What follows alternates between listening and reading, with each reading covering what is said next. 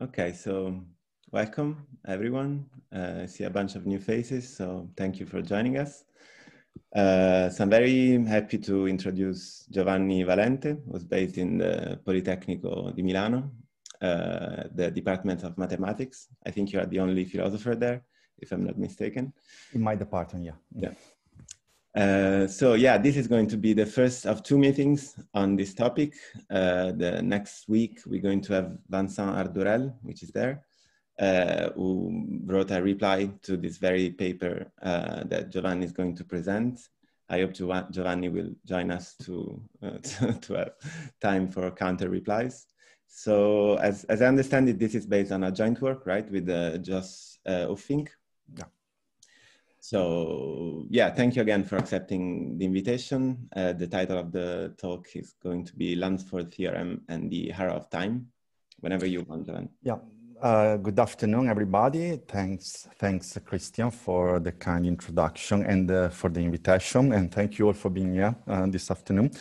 Um, as as Christian mentioned, uh, uh, the content of my presentation today um, is part of a joint paper that I published back in 2015 uh, together with Jos Uffink. Um, and uh, um, it's a paper that uh, took a while to us to complete and then uh, uh, as I said, I haven't, I haven't worked on, on the topic for the past three or four years, but I know there that Vincent, who's in, in the audience, uh, uh, you know, published a reply to it. And uh, that gave me also an opportunity to think more about, about this issue. And then uh, you, you will have a chance to hear um, what Vincent has to say um, in reply to our own uh, analysis of Lanford's theorem uh, in a week or so. Um, so just to stress the importance of uh, uh, Lanford's theorem, let me begin by oops, resorting to uh, authority. So this is a quotation uh, from Cédric uh, Villani, who claimed that uh, le théorème de Lanford est, est peut-être le plus important résultat mathématique de la théorie cinétique. Um, and I actually agree. It's a very important uh, result with some technical limitation, but it, it's conceptually very, very uh, crucial for the development of uh, kinetic theory. Um, it does, however, raise some important questions, uh, philosophical questions, especially as regards uh, the arrow of time and the emergence of uh, irreversibility. And that's exactly the, the, the issue on which Jos Uffink and I uh, focused uh, when, uh, when writing this paper. Um, let me show you this picture. You're all familiar with the problem of irreversibility and how it is connected with the arrow time. So I'm not going to spend too much time on this slide, but uh, you know, you might think uh, of a gas uh, contained in a vessel and uh, in the upper part of the picture, you see a spontaneous expansion of this gas, first at time t equal to zero being uh, confined in the left half of the vessel. Uh, and then if it is left free to expand, it will eventually at a subsequent time t greater than zero occupy uh, all the volume available. Uh, that's what we observe. And this is what our macroscopic observations suggest. We never observe, however, the reverse process, namely the gas being uh, spread in all possible, in all the available volume, uh, spontaneously contracting to uh, one half uh, of the of the vessel. Uh, the first process, the one being observed, is usually is accompanied by an increase of entropy, and thermodynamics the, you know, can describe or account for this phenomena. In the, the, the second process, the spontaneous construction, uh, contraction of the gas, uh, would be accompanied by an, uh, a decrease of entropy, but as I said, we never, we never really observed this phenomenon. The question underlying the kinetic theory of gases and all the work in, on statistical, in statistical physics is how to provide a microscopic uh, justification, microscopic explanation for um, this phenomenon, in particular, uh, the second law of, of, thermodynamics that predicts this uh, one-way increase of entropy uh, is often thought of as, uh, you know, underlying the arrow of time. So uh, real processes occur in one direction of time, but not in the opposite. And so the hope is to be able to provide an underpinning of this uh, uh, orientation of time as being, uh, um, you know, uh, as following the thermodynamic arrow of time uh, from a microscopic uh, point of view.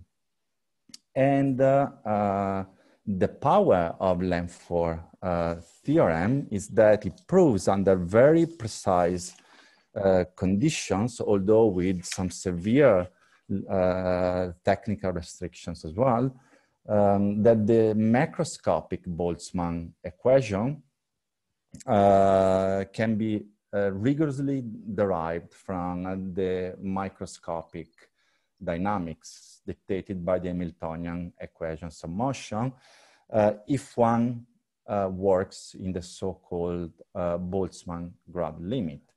And uh, so allegedly, the theorem derives a, uh, an irreversible result, namely the Boltzmann equation, from uh, time reversal uh, invariant dynamics given by the Hamiltonian equations of motion, at least for a very short but not negligible amount uh, of time. Now, the problem is that the Hamiltonian equations of motions are time reversal invariant, whereas the Boltzmann equation is not. And so the question to be asked is where does the irreversibility of the Boltzmann equation come from? It certainly can't uh, be derived directly from the Hamiltonian equations of motion. And so in order to answer this question, one needs to identify some time asymmetric ingredient that somewhere in the theorem uh, is added to the Hamiltonian equations of motion in order to derive the macroscopic irreversible result. And uh, there's a huge discussion in philosophy of uh, thermal physics about the notion of uh, irreversibility. Clearly here, I take irreversibility to be equivalent to the uh, notion of time reversal non-invariance. And uh, so uh, let me therefore fix the terminology here before, uh, uh, you know, starting the, uh, the, the, analysis, the analysis of the theorem. Um, we take an equation to be time reversal invariant just in case for any solution of the equation, the time reversal transformation of this solution is also a solution of the very same equation. So if we consider an evolution equation uh, for a given function of time, uh, let's say ft, um, um, then, and we take the class S of allowed solutions for this evolution equation, then each solution corresponds to a possible history, a possible trajectory in time. Uh, the time reversal of this equation uh, is obtained by applying a transformation that flips the sign of time and also the sign of uh, momenta if the function ft depends on momenta too. Of course, by flipping the time, the sign of the time, you will automatically flip uh, the sign of momenta because momenta is given by the derivative of position over time. And so we will obtain as a time reversal of the solution ft, a solution f minus t. Uh, and so each solution is also associated with the time reverse history, uh, say TH. The criterion for time reversal invariance um, demands that uh, if the equation for f um, uh, t is, oh, sorry, the criterion for time reversal invariance demands that uh, the equation for ft is time reversal invariant just in case um, th, so the time reverse history, belongs to the class of allowed solution whenever h, the original history, belongs to the very same class of allowed solutions. Of course, uh, an equation will be time reversal non-invariant if it fails to satisfy this criteria. Uh, okay, so having given an informal, first informal presentation on the theorem and having fixed uh, the idea of irreversibility as time reversal non-invariance, let me uh, present the structure of the talk. Uh, so I will first be, uh, introduce the hard-spheres model within which the Boltzmann equation is defined. Uh, I will recall Boltzmann's own uh, heuristic argument for the derivation of the Boltzmann equation and the ensuing H theorem and I will pinpoint some of the well-known limitations of Boltzmann's argument. Uh, they will then provide uh, the first step, an informal characterization of the content of Lanford's theorem, uh, stressing that it provides a statistical H theorem that enables one to overcome some of the limitations of Boltzmann's original argument. And then I will go more formal, uh, providing the complete statements uh, statement of Lanford's theorem and explaining the technicalities behind uh, this statement. Uh, in particular, I will stress that uh, Lanford's theorems provides in the Boltzmann-Grad limit a connection between the so-called Boltzmann hierarchy and the BBGKY hierarchy. And finally, we will have all the details at ends uh, in order to tackle the main philosophical problem, the one concerning the emergence of irreversibility, if any, in the theorem. Okay, here's the hard-sphere model. In the hard-sphere model, all the molecules of a gas are idealized as uh, hard-spheres of diameter A and equal mass. So the gas is, is uh, enclosed in a, in a vessel. So it will have a final volume occupying the special region, uh, a final special region. Uh, there will be n molecules, a very large number n molecules of hard spheres in the gas that are allowed to interact with each other only by means of binary collisions. And as it is well known, we can provide two descriptions of this, uh, um, of this gas uh, at the microscopic level, at the macroscopic level. At the microscopic, the microscopic state is given by a point in the six n dimensional uh, phase space. And these points evolve in accordance to the Hamiltonian equations of motion. At the macroscopic uh, level. Instead, instead, the state of the gas is given by a normalized distribution function, ft, which is a function of uh, uh, position and momentum of the one particle, uh, um, on the one over one particle, and it is defined, in fact, on the mu space, the one particle uh, mu space.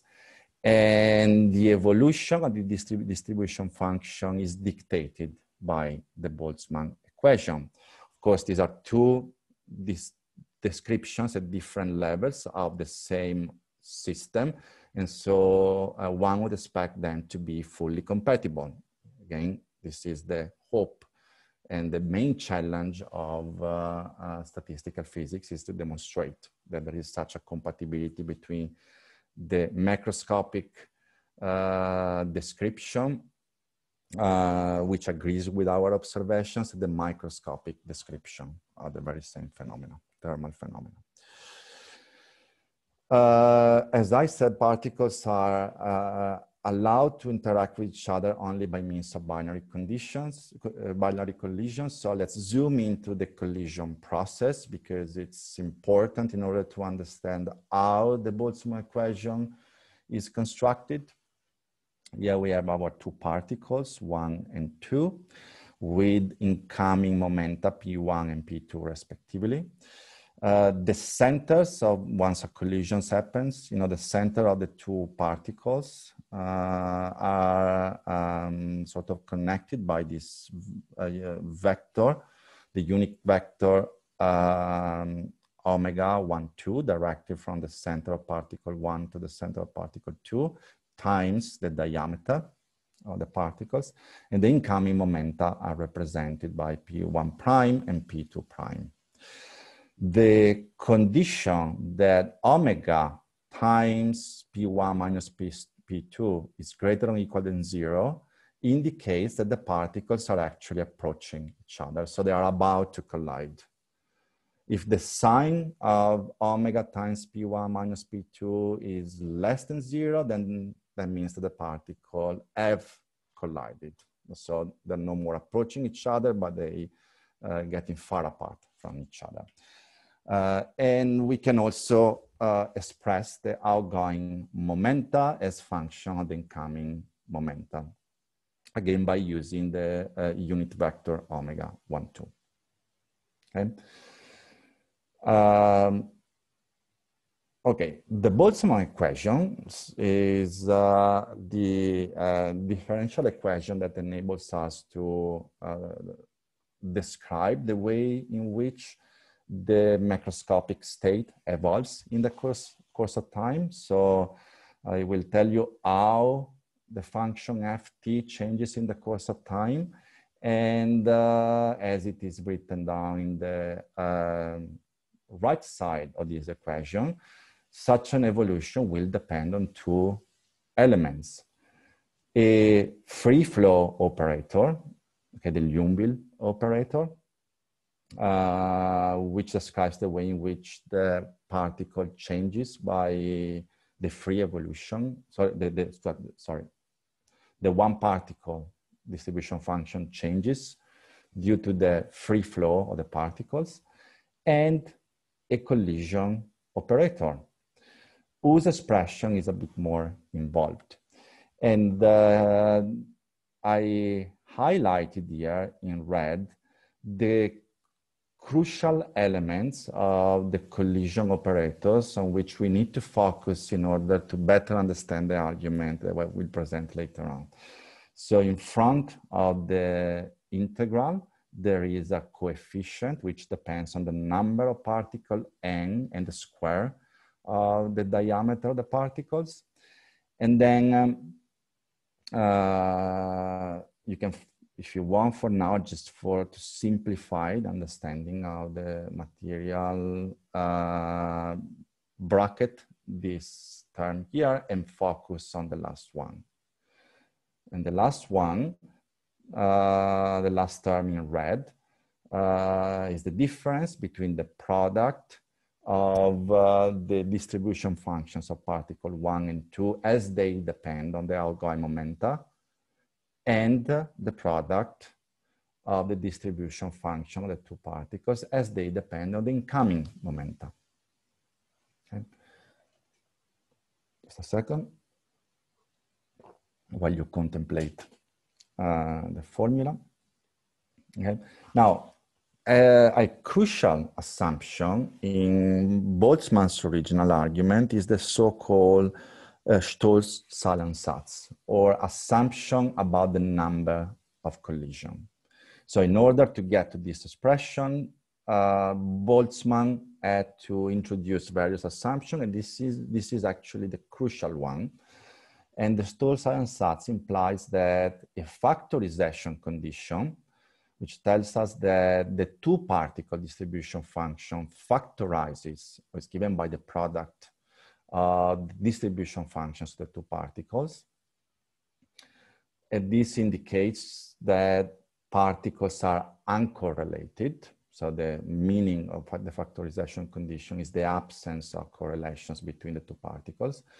But the Stosszahlansatz tells us something more, requires something more, namely that this factorization condition holds only for pre-collision and not for post-collision particles.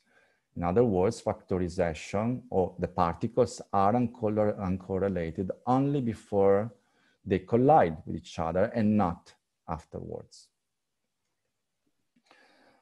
From the Boltzmann equation, uh, Boltzmann derived the H. Giovanni, can I, yeah, do you yeah. take a question?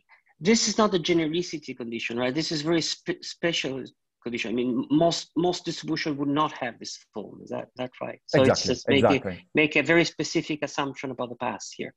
Exactly, exactly. Okay. And that's and that's a crucial point. And in fact, um, okay, let me get, get back to that. Yeah, yeah, sure. The sure. next slide, just, and then just, over and over again. But you're right. Yes, it's a very stringent condition, but necessary to derive the Boltzmann equation, at least in Boltzmann's original argument, nevertheless. And um, having uh, constructed the Boltzmann equation, uh, Boltzmann was able, uh, and let me re-emphasize the construction was mostly heuristic. Uh, then Boltzmann was able to derive, this time more rigorously, a theorem known as the H theorem, um, which tells us that if Ft is a solution of the Boltzmann equation, then the entropy of the system being associated with the negative of the H function, uh, whence the name H theorem, will increase monotonically until the system reaches equilibrium. So it reaches the uh, uh, Maxwell-Boltzmann distribution, okay? Okay, so for every solution of the Boltzmann equation, we have an increase of entropy exactly as it will be demanded if you want if you want to capture the spontaneous evolution of a gas that in according to the second law of thermodynamics uh, is accompanied by an increase of entropy rather than an increase of entropy. Um, so of course, the reversible behavior of the, x, uh, of the h function, the fact that it's mm, the negative of its derivative uh, is uh, greater or equal than zero rather than less or equal than zero, is due to the fact that the Boltzmann equation is time reversal non-invariant. And, and here I come to the, come back to the question that, that, that Carlo asked before actually was recognized that the time asymmetric ingredient in the Boltzmann equation is exactly the fact that the Stosszahlansatz holds only for pre-collision particles and not for post-collision particles. If in fact, if we were to assume factorization for post-collisions rather than pre-collision particles, what we would obtain is an equation that has the very same form of the Boltzmann equation, um, so it has the Liouville operator, the free flow operator, and a collision term, but the sign of the collision term is negative. And this is actually the anti-Boltzmann equation, which turns out to be the time reversal transformation of the Boltzmann equation. And if we try to apply the H theorem to the anti-Boltzmann equation, rather than having, an increase of entropy, we will have a decrease of entropy.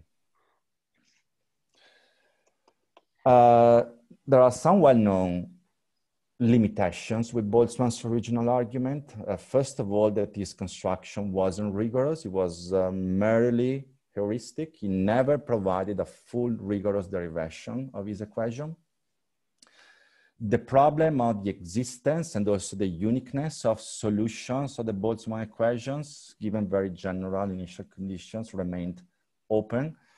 And also famously, uh, two objections were raised against the H theorem, namely the reversibility objection and the recurrence objection that would indicate that sometimes entropy or actually the H function could decrease rather than increasing um, or at least uh, according to these objections, uh, the H theorem would not be true in general, but only for some initial uh, possible microstates.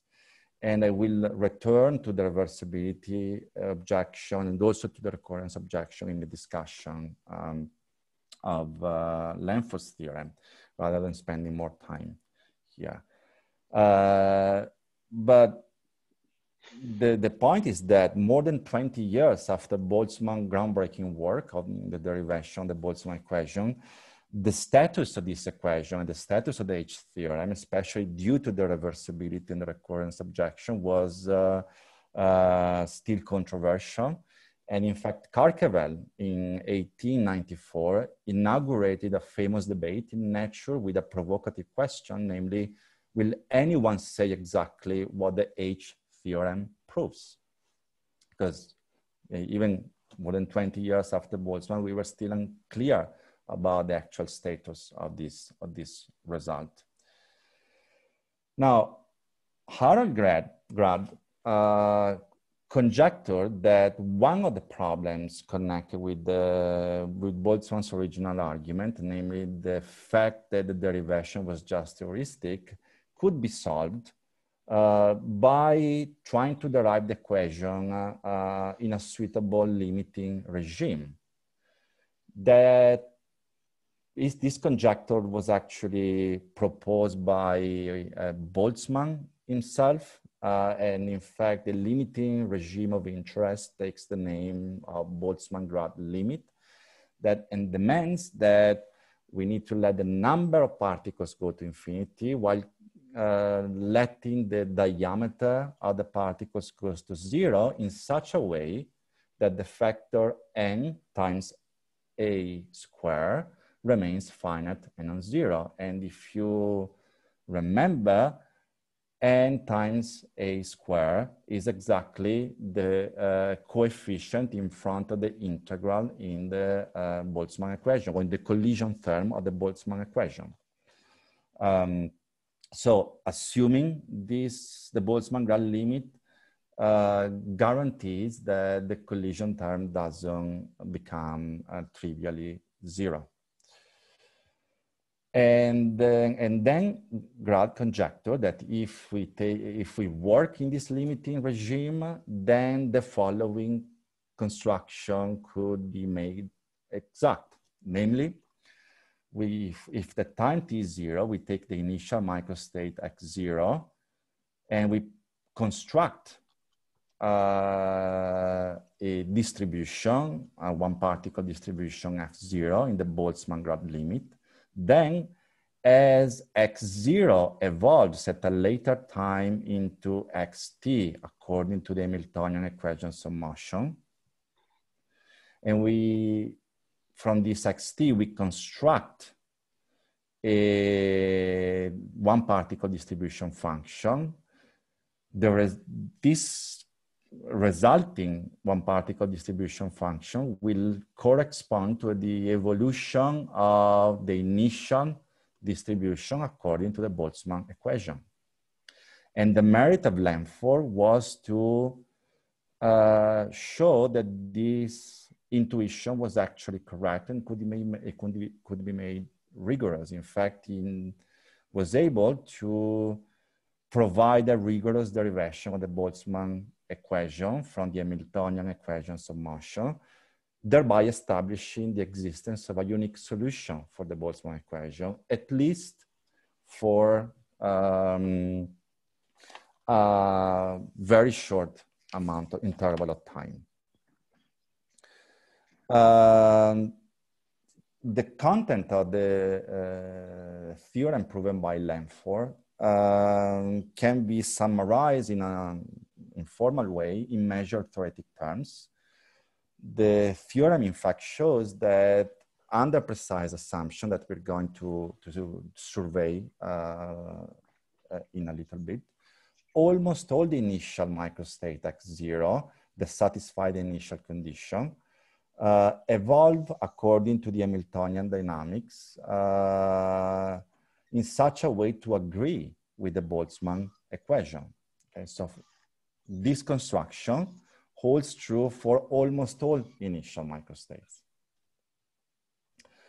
And then as a corollary, just as Boltzmann did, Lanford was able to show a statistical H theorem, namely that for any solution of the thus constructed uh, Boltzmann equation, we can obtain a monotonic increase of entropy, namely the minus x minus h function, uh, at least for almost all initial points. So the advantage of this derivation um, that makes precise and rigorous the uh, original heuristic argument of uh, uh by, by Boltzmann is that it enables us to avoid the recurrence objection.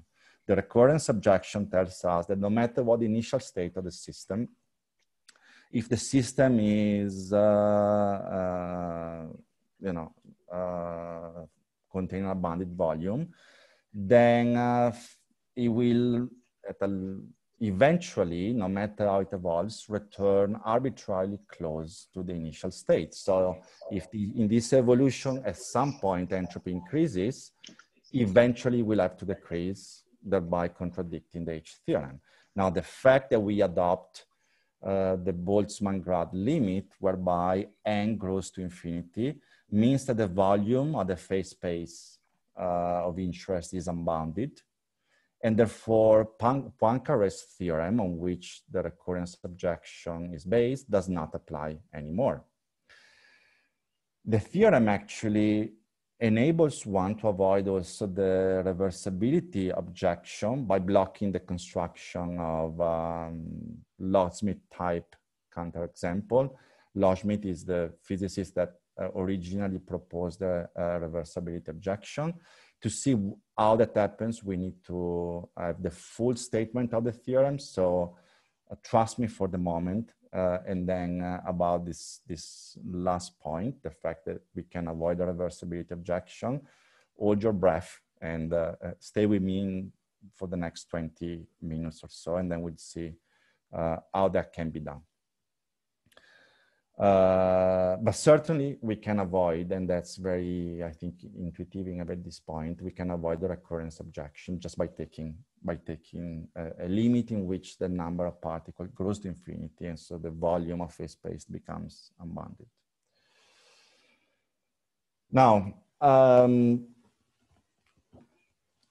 as I promised at the beginning of the talk, we can now move on to the more formal um, characterization of the theorem and the uh, full derivation of Lanford's theorem is actually given within the so-called BBGKY approach, whereby the macroscopic description of the gas system is given by a sequence of uh, multi-particle probability distribution. They actually reduce probability distributions that are indexed by uh, the label K that indicates the number of particles that we are considering. And there are actually two uh, hierarchies that now I'm going to introduce. Uh, the so-called Boltzmann hierarchy that proves to be equivalent to the Boltzmann equation provided at a certain factorization condition akin to the one adopted by Boltzmann for the two particle distribution function, holds. And the uh, so-called BBGKY hierarchy that is probably equivalent to the Hamiltonian equations of motion. So in order to derive the Boltzmann equation from the Hamiltonian equations of motion, what one ought to show, and what in fact Lanford did, uh, is that under precise assumption, the BBGKY reduces to the Boltzmann equation, sorry, the Boltzmann hierarchy in the Boltzmann-Grad limit. And then the Boltzmann equation can be recovered by introducing uh, a factorization condition at a subsequent step. Okay, so we have two new animals here to deal with, the Boltzmann hierarchy and the BBGKY hierarchy. So let's look at what they are more in detail in order then to be able to, to grasp the formal statement of Lanford theorem. The Boltzmann hierarchy um, is a hierarchy of evolution equations uh, depending on uh, the level k, indicating, as I said before, the number of particles that is constructed uh, again by appealing to a free flow operator and a collision operator. And uh, one can show that if fkt um, is a solution of the Boltzmann hierarchy that factorizes according to this factorization, generalized factorization condition. So ft, namely the one particle distribution function uh, over which fkt factorizes, is a solution of the Boltzmann hierarchy. So the Boltzmann, uh, the Boltzmann equation, sorry. So the Boltzmann hierarchy is equivalent to the Boltzmann equation modulo, the, uh, well, if we add this factorization condition.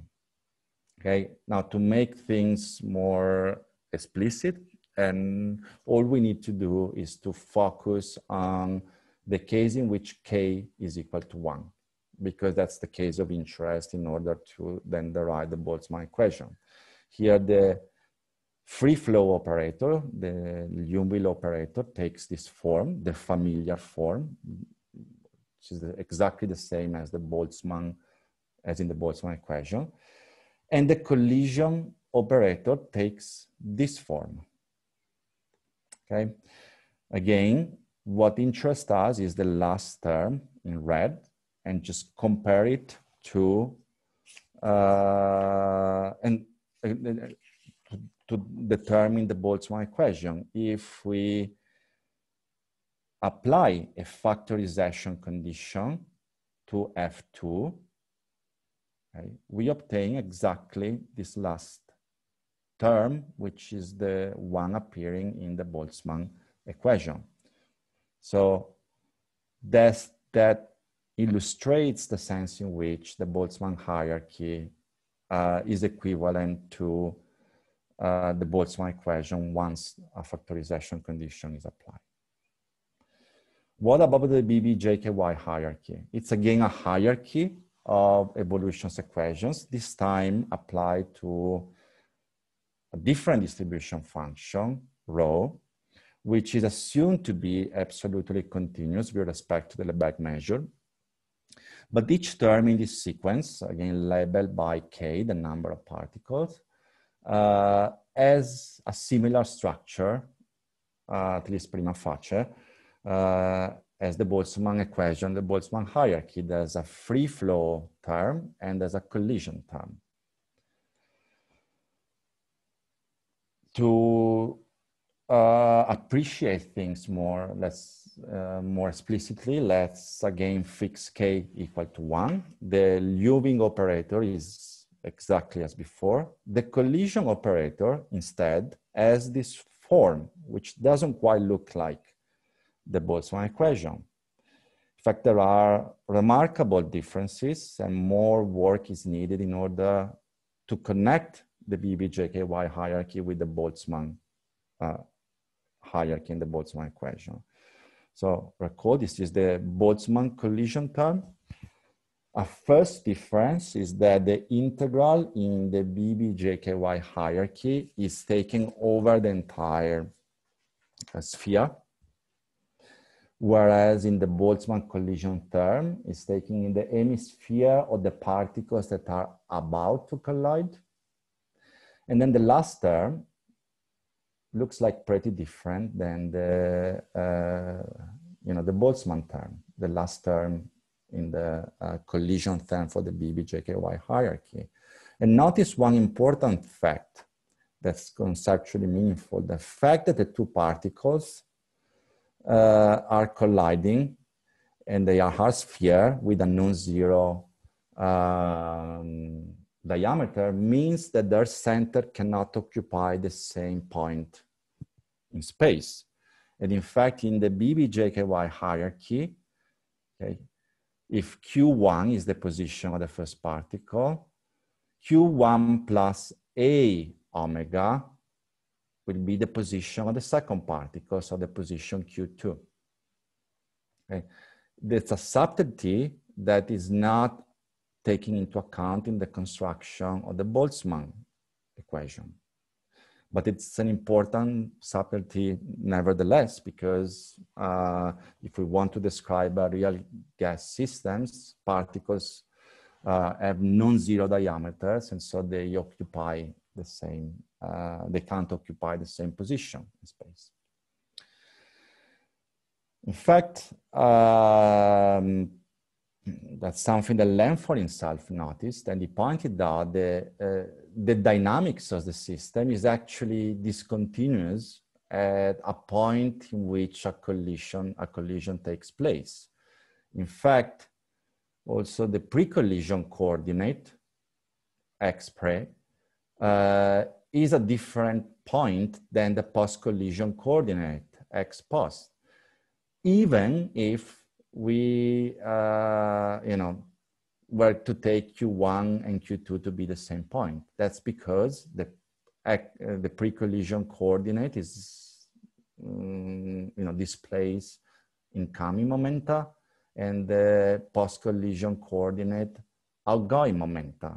So P momenta in the first case, P prime momenta in the other case. So once a collision happens, we basically jump discontinuously from X pre to X post. So the dynamics is discontinuous. Uh, and in order to avoid this problem, we to make the dynamics smooth, we need to introduce a topology in which the pre-collision, the post-collision coordinate can be connected without discontinuity. And what Lanford did uh, in order to achieve uh, this goal was simply to identify the two collisions configurations. And so we have two possible uh, representation that we can adopt here. The incoming representation in which all momenta are written as incoming momenta and the, and the outgoing representation in which all momenta are written as outgoing momenta. And then Lanford, so suggests that we need to adopt the incoming representation in order to make the BBGKY collision operator more alike to the um, Boltzmann collision operator, okay? And in fact, by adopting the incoming representation for collision points, uh, and after a few technical manipulations that we need to, we don't need to go through now, was able to transform this integral over the entire uh, sphere into an integral over uh, the um, pre-collision hemisphere. And the term in red here inside the integral could be split in two parts one depending of uh, outgoing momenta, one depending on outgoing momenta. And notice that here, again, the position of the second particle depends on uh, or, or, is distinct from the position of the first particle by the quantity A omega. And of course, this term looks like the uh, Boltzmann collision operator much more than the previous one. Uh, and uh, okay, here's a picture of, uh, of uh, uh, the incoming versus outgoing momenta that explains also why here we have a sinus min minus, here a, sin, a minus plus, simply because um, you know, um, omega will point in the first case, in the case of incoming momenta, from the central particle one to the central particle two, whereas uh, in the case of outgoing momenta, from the central particle two to the central particle one. Okay. This is again the BBGKY collision operator I showed you before. As it is written in the incoming representation, and let me stress this fact, and compare it with the Boltzmann collision operator that we saw before, uh, we have uh, pretty much the same term with just one difference that in the BBGKY collision operator, we have a dependence on the diameter of the particles. But if we take the Boltzmann-Grad limit, not only n goes to, goes to infinity, but also the diameter of the particle will go to infinity in such a way, of course, that n a square remains finite. But if we let a goes to zero, then you'd expect the BBGKY collision operator to reduce to the Boltzmann collision operator. Um, so what, what uh, Lanford managed to do following this intuition was exactly to derive the BBGKY hierarchy, uh, sorry, to derive from the BBGKY hierarchy, the Boltzmann hierarchy. Okay, the, the free flow operator is the same as we saw the collision operator of the former will approach the collision operator of the latter if we take a we let a go to, to zero as uh, demanded by the Boltzmann-Grad limit. So the derivation can be completed if the argument of the BBGKY hierarchy, so rho, the distribution, probability distribution rho, goes to the uh, Boltzmann distribution function f in the Boltzmann grad limit. And that's the real difficulty. The technical difficulty is, difficulty is to prove this fact. So under what conditions can convergence be proven? And uh, First of all, notice that convergence can be expected only on the set of points that have not yet collided. Um, and so we can demand uh, convergence only with this, this limited chunk of phase space. So away from some exceptional points in which particles are colliding. Uh, and uh, the convergence is understood in this sense as uh, um, in the Boltzmann-Grad limit, we can just not to complicate further the discussion, skip the sense in which we take this limit, but notice, uh, so as essentially supremor, uh, the absolute value the difference between the two distribution for each k. Uh, but notice, that's important, that uh, this convergence ought to be guaranteed within this uh, set okay, of points for which the particles have not yet collided. Um, and this fact guarantees that we have convergence, convergence, convergence almost surely with respect to any measure, which is absolutely continuous as regards the, or with respect to the Lebesgue measure. Um,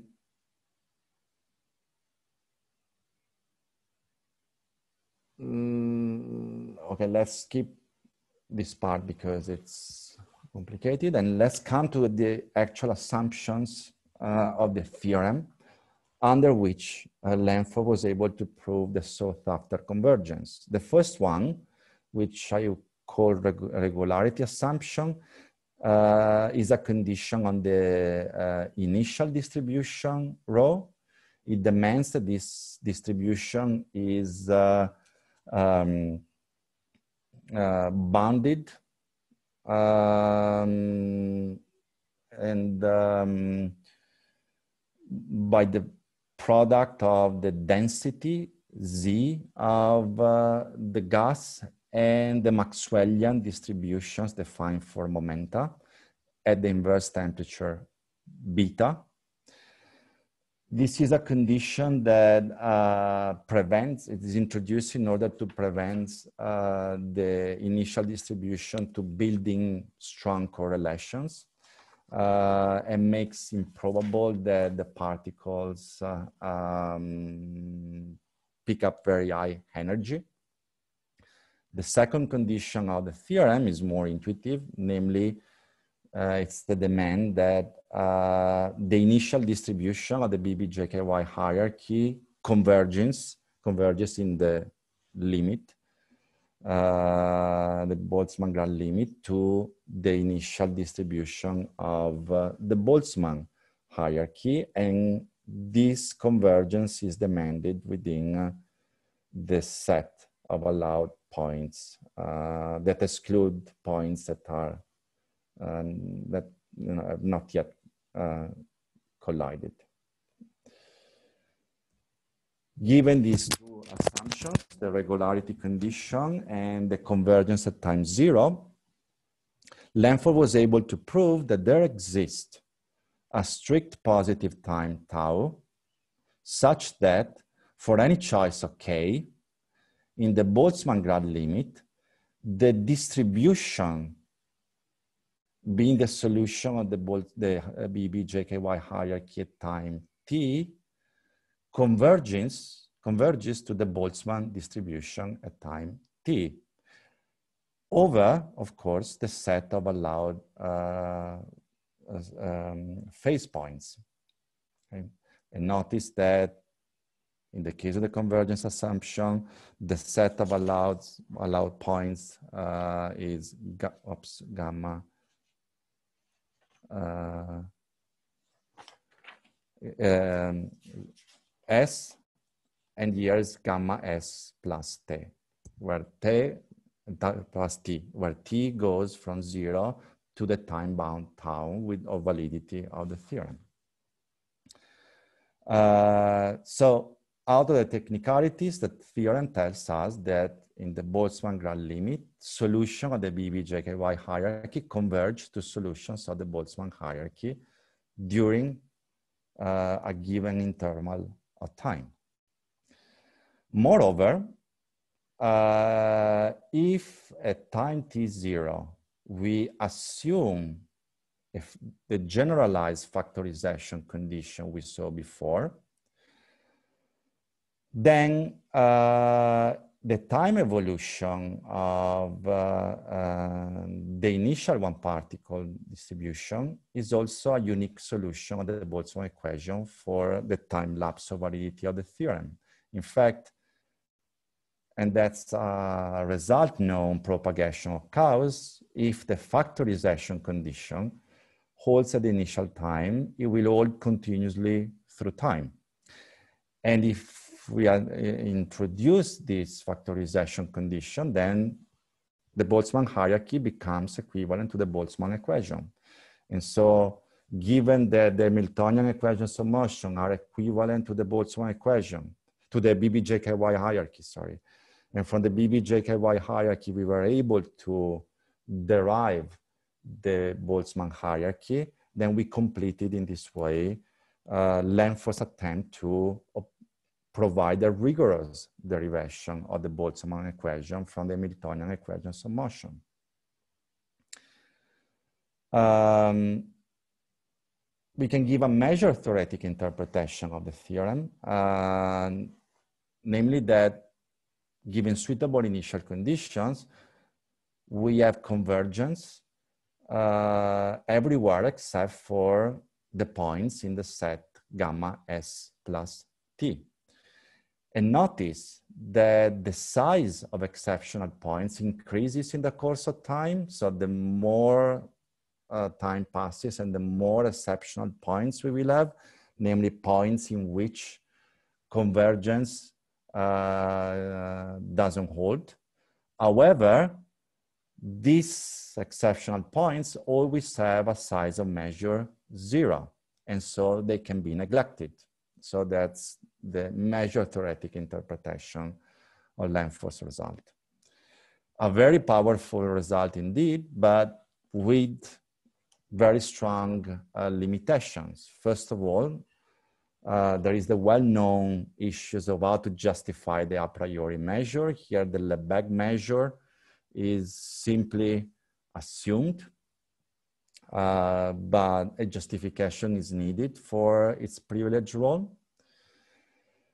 We have quite restrictive initial conditions. So the regularity assumption, so that rho zero is bounded by the Maxwellian distribution, rules out a large class of initial probability distribution. The theorem is proven under the Boltzmann-Grad limit and which introduces a very severe idealization because uh, it implies that the density of the gas goes to infinity. So the number of particles increases, but it, their diameter shrinks to zero. So density goes to zero, which means that the theorem might apply only to very diluted gases, in fact, infinitely diluted gases, and last but not least, uh, the time scale of the, of the validity of the theorem is of the order of one fifth of the mean free time. So the time that elapses between two collisions, which is typically a few milliseconds. So it's an extremely short time scale. Now, it is believed, and also Villani in the paper uh, from which I took the quotation at the beginning of the, the talk, uh, so he believes and insists, like uh, most of the mathematical physicists working on the topic, that it's merely a technical problem that we haven't been able to prove a Lanford theorem for longer times. Um, in fact, there is no known no-go result against the time extension of the theorem.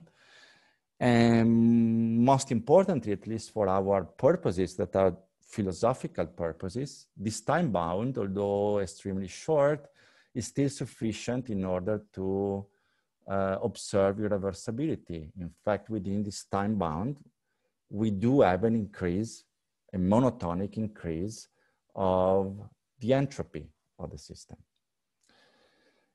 And so here come the philosophical part, more, the more philosophical part of the, of the talk.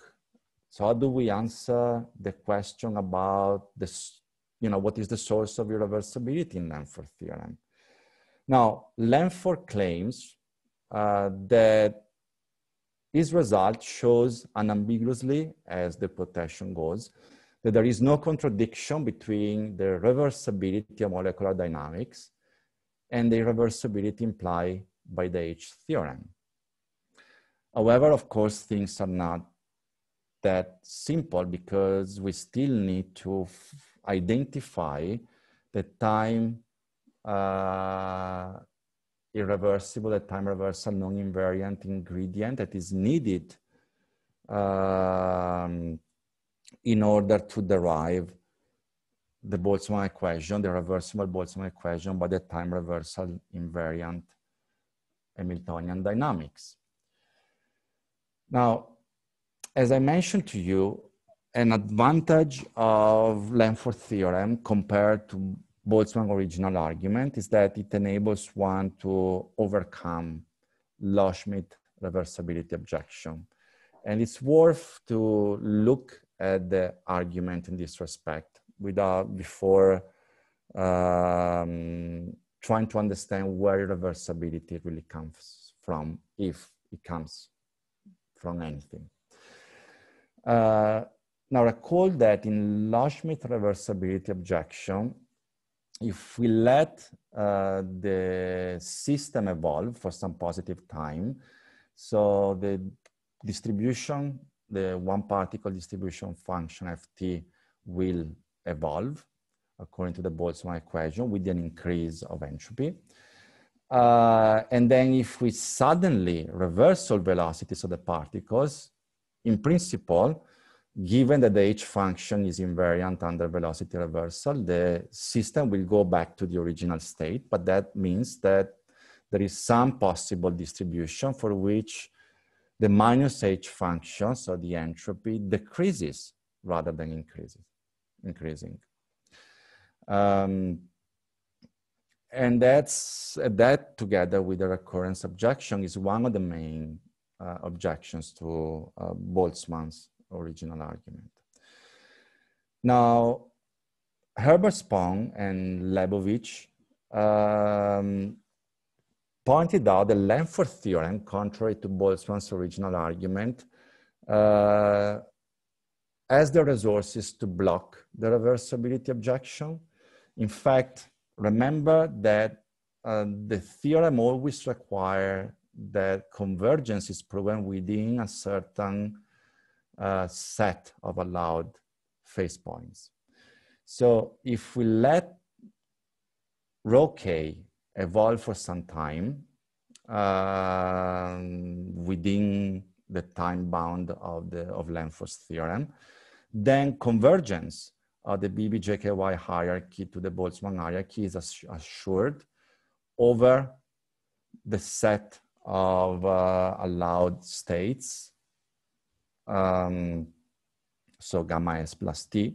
Then if we reverse all velocity as demanded by Loschmidt's argument, uh, then Lanford theorem can apply again at the new initial time, uh, but as assumption two in the theorem uh, requires, uh, this convergence at the initial time will have to be required for the whole initial domain, gamma s. But um, of course, the uh, former, or um, sorry, uh, but but of course, gamma s uh, is uh, uh, greater than gamma st because remember that the set of uh, exceptional states increases in the course of time. And so we can't really apply the second step of Loschmidt's argument in a meaningful way. And so Spohn and Lebowitz pointed out that we have a way to block the reversibility time objection. But then the question is, of course, where does the reversibility of the Boltzmann equation comes from? One thing is to block the reversibility objection. Another is to explain the uh, nature of the Boltzmann equation, which is an irreversible macroscopic evolution equation. And various views have been uh, proposed in the literature that are mutually incompatible on the source of irreversibility of Lanford's theorem. Lanford himself argued that irreversibility is introduced by the incoming representation for collision points, and this preference over the outgoing representation is just a matter of convention. Cercignani and other collaborators agreed on the privileged role of the incoming representation, uh, but they maintained contra Lanford that it's not a matter of convention, of mere conventional choice, but rather this privileged role as a dynamical justification. Spohn and Lebowitz, by developing the argument that we just saw, pinned down a time asymmetric initial condition in the second assumption of the theorem.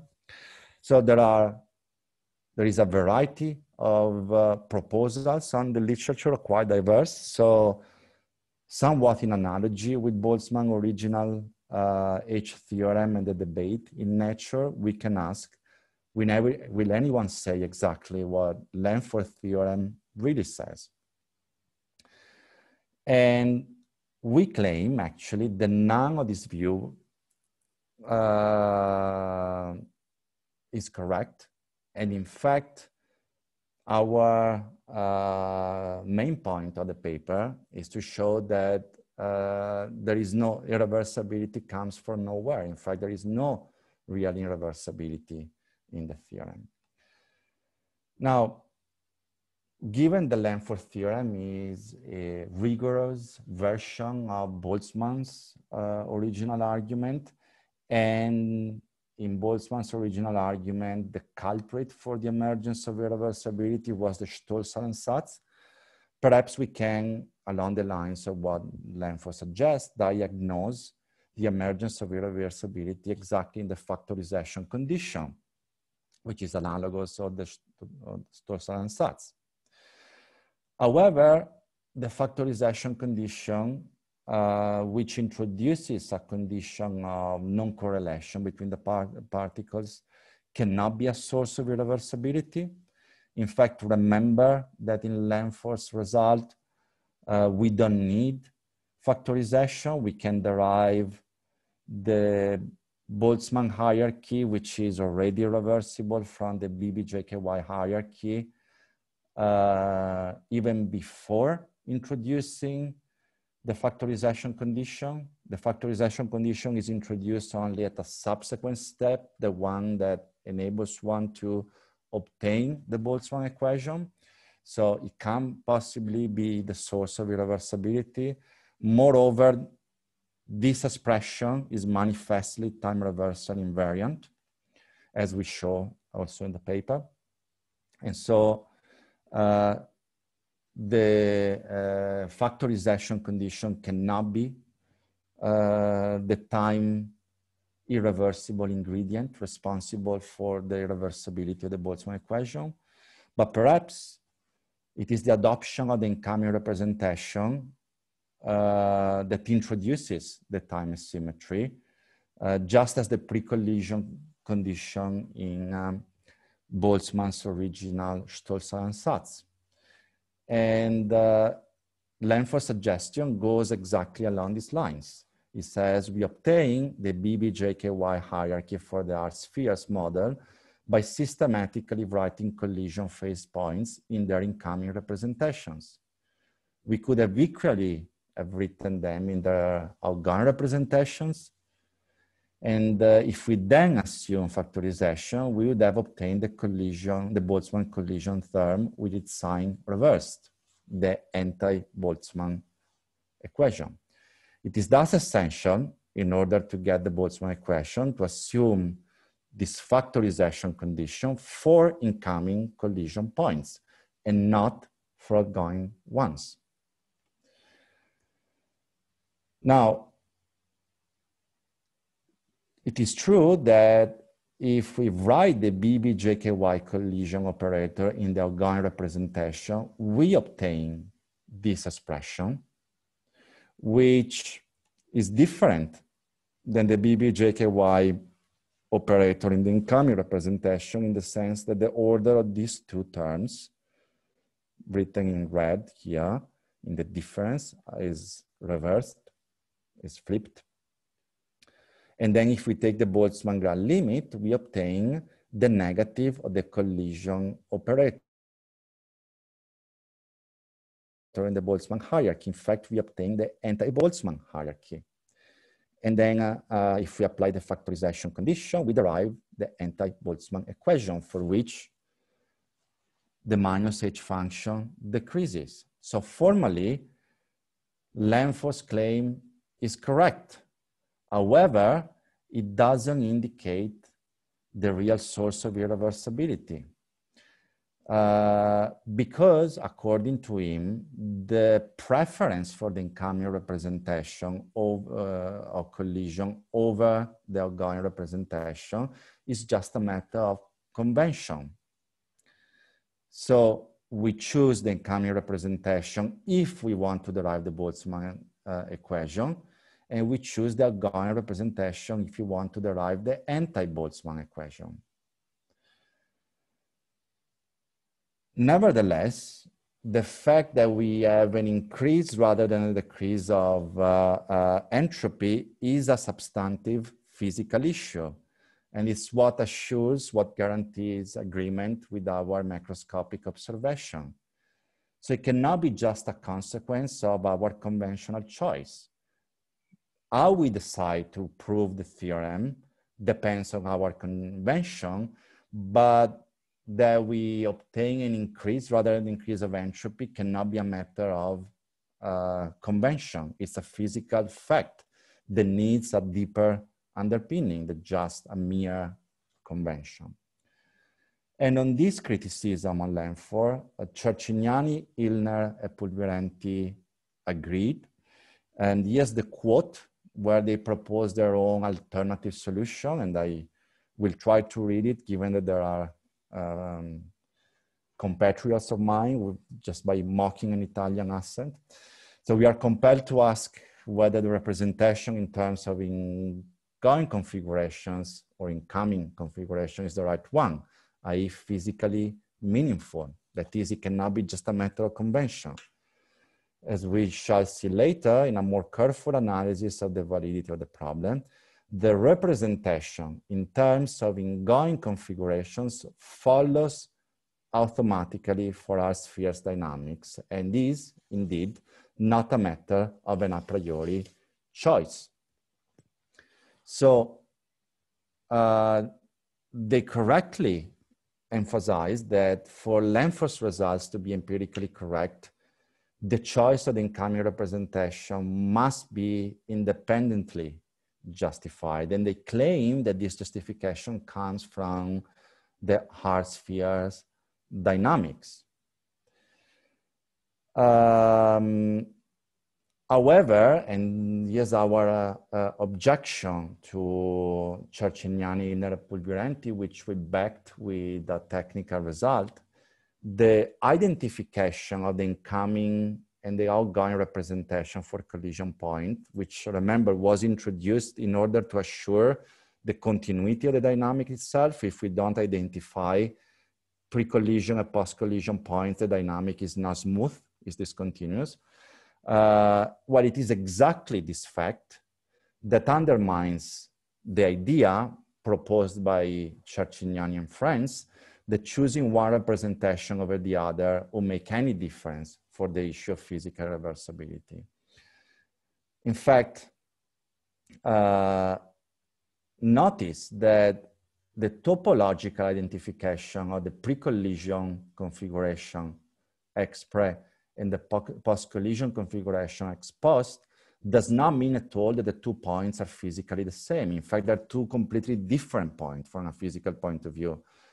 In the in pre, we got incoming momenta.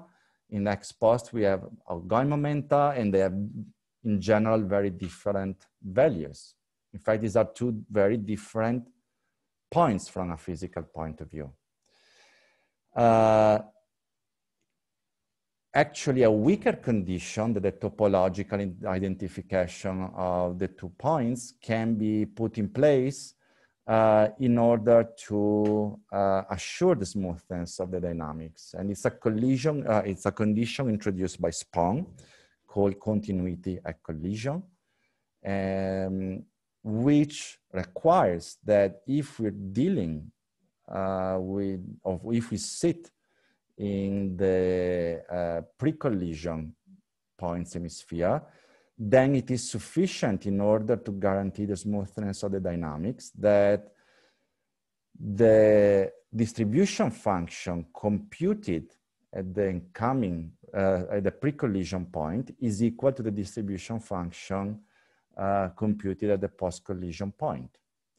This is actually weaker than demanding that the arguments of the distribution functions are the same. They can be different. The important point is that, or the important thing is that the, the two distributions are the same.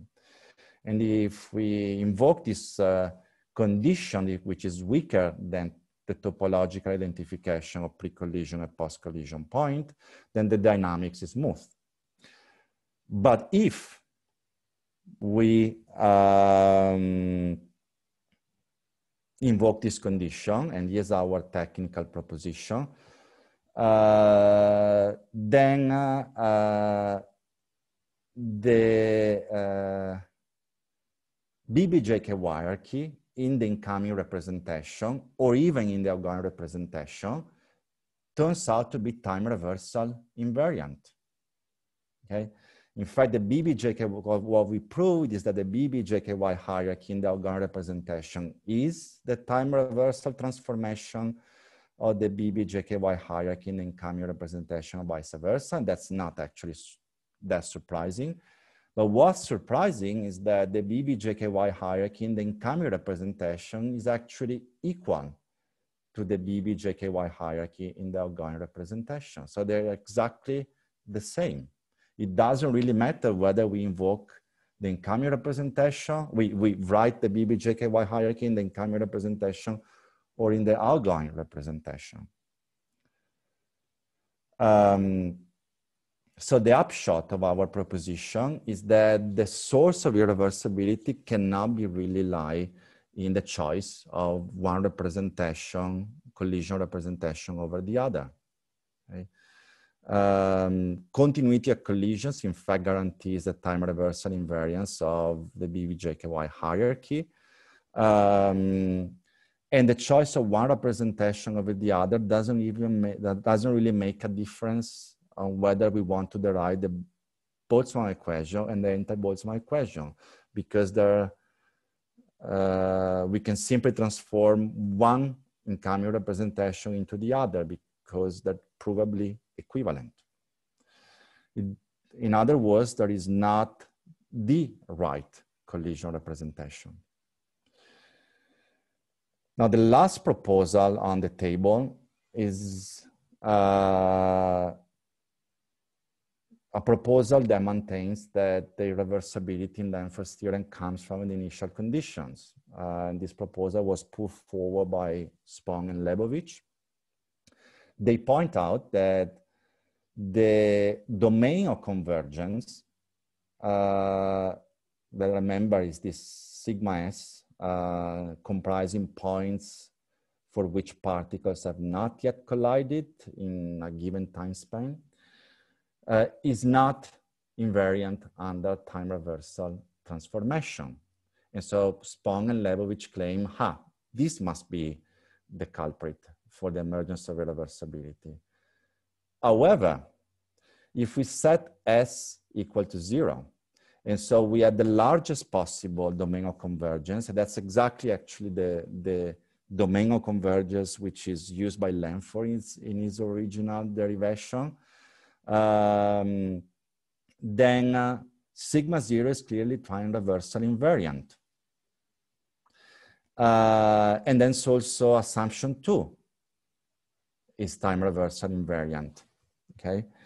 Uh, and therefore we can't really blame this assumption to be time reversal non-invariant, to be the culprit for the emergence of irreversibility.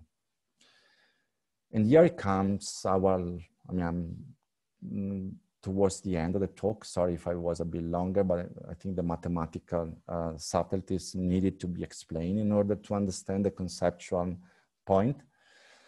Now, as we claim in the paper, uh, all these proposals uh, on the emergence of irreversibility fail to recognize the true status of irreversibility in Lanford's result.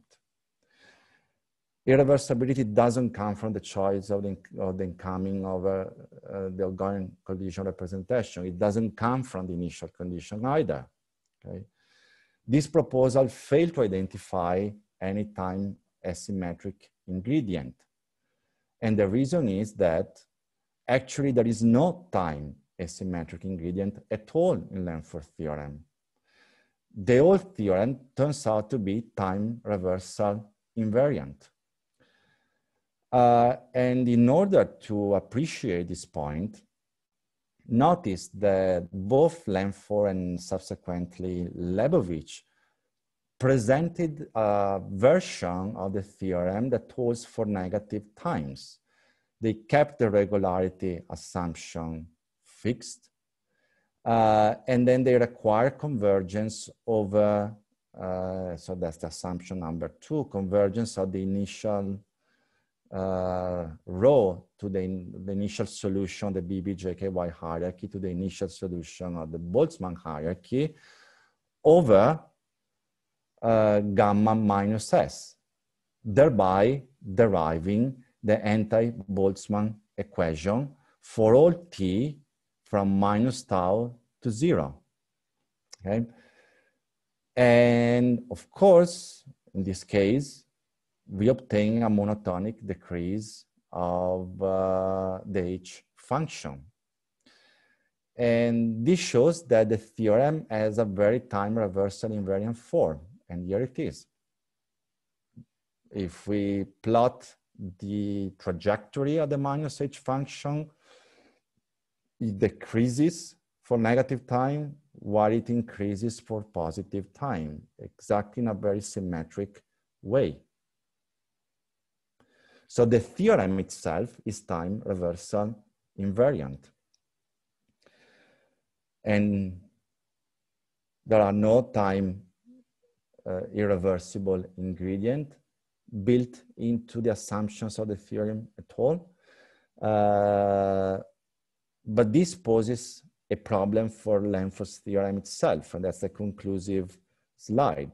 Since entropy decreases monotonically in the past, it seems that the gas should tend to evolve far from equilibrium for negative times. And this is actually in fact contradiction with other microscopic observation. We expect uh, the gas evolving towards equilibrium in the future to come from even for a state which is even further away from equilibrium. So if a gas is freely expanding inside the vessel for a positive time, then we would expect that any time before the origin, the gas was even more contracted within a portion of the available space, a portion of the vessel. Uh, the more so because, of course, the choice of the initial time t equal to zero is fully arbitrary. So, you know, you can sit here, if you sit here, for instance, and you put the origin in this point here, then the theorem would tell us that, you know, entropy would be, would have this uh, plot for negative, for the new negative time. Okay. Uh, so Lanford theorem, in conclusion, is time reversal invariant. There is no time asymmetric ingredient built into Lanford's assumption at all. But because it is time, time reversal invariant, it yields the wrong retrodictions. So while it works pretty well for the future, and it is a very powerful result, no doubts about that. It seems to fail for the past, and this, in our view, is the main limitation of the theorem. Thanks, I'm done. Thank you.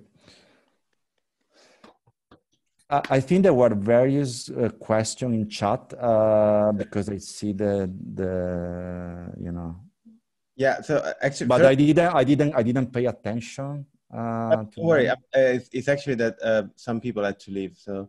yeah. Sorry. I, I went very long, but you know. That, that's all right. That's all right. I, th- I thought you know mm, it's a different. We'll have we'll have also next week. So hopefully yeah. we'll have time and we can also meet another time too i mean yeah you know. thanks thanks and thanks. i and i should say i mean next week um unfortunately on friday i have a meeting for the phd program at the polytechnical that i'm creating and so I i'm afraid i won't be able to to participate but uh that's all right we, we will arrange something maybe in the in the yeah yeah, yeah sure. week if you guys want so okay uh, take questions uh, we have uh, more than half an hour so Dustin, you, I see your end. Yeah, thank you. And thank you very much for the talk and the good explanations. Um, I, I, I, think if I understand correctly, I agree with what you say in the end, but um, I thought that was understood basically since, since uh, Boltzmann that um, I mean, what breaks time uh, symmetry is is the assumption of a low entropy initial distribution at time t0. And then the entropy will typically increase towards the future and towards the past. Yeah.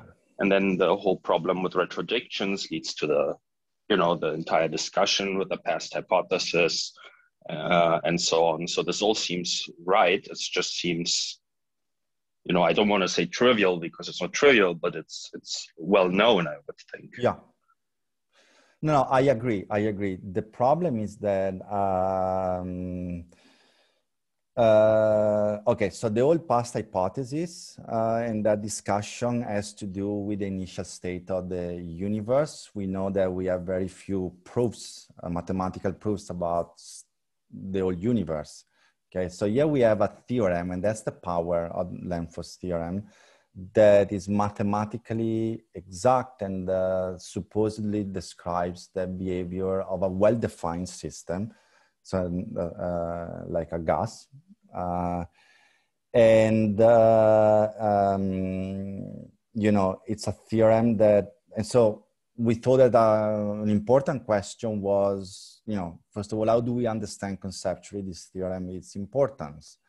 and we bump into a huge and mathematically very sophisticated discussion on the status of the theorem. And it took to us a while to, to understand, uh, um, you know, to understand uh, what was going on and what were the, what we think are the mistakes in the, in the, um, in the, in these discussions. And then uh, we could, in the paper, provide a formal argument why this situation happens. And as far as I could tell, most of the discussions of the past hypothesis and all these problems around the, the retrodictions are um, sort of informal. And uh, here instead, we, I think we could make it mathematically uh, precise. And uh, sure enough, this problem of round retrodiction was known already with respect to Boltzmann, but uh, as you know, um, Carlo Rovelli's initial question, the first question he asked me about the Stosszahlansatz being valid only for pre-collision particles. Uh, it was also well known that, you know, for Boltzmann, Boltzmann's original argument, that was the culprit. And so it's somewhat surprises, I think, surprising, I think, that in Lanford's theorem, which is um, rigorous version of Boltzmann's original argument, we don't have the same fact. So it's not the Stosszahlansatz, so the analog of the Stosszahlansatz that introduces uh, irreversibility. And I think this, this is, and I find this being this sort of far from trivial. But then the consequence is that we have this picture. And as you say, maybe this is not surprising, but the um, sort of uh, interesting part is that we could make it precise, at least within um, well-defined mathematical conditions. So I, I, I, don't know if I answer your questions or if I disappoint. Yeah, yeah no, I, I, no, I, was even more. Um, I, I just don't uh, don't agree that it's really different uh, from the situation in Boltzmann.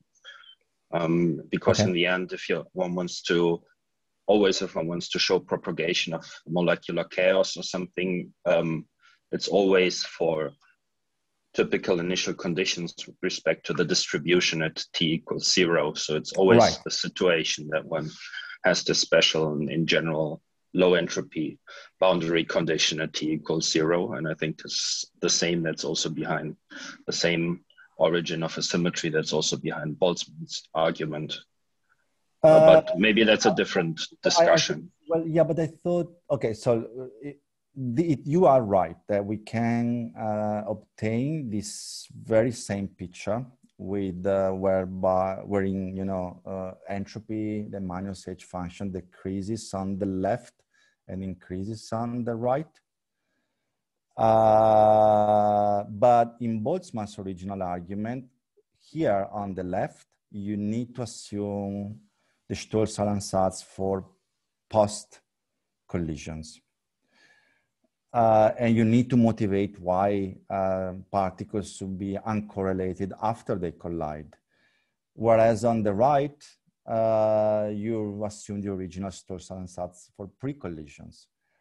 The difference in Lanford theorem, and I think that's the content of our own theorem, is that it doesn't really matter whether, I mean, the, assuming the incoming representation, the incoming collision representation, or the outgoing collision representation, is perfectly equivalent. And so that enforces the intuition that the theorem is time reversal invariant.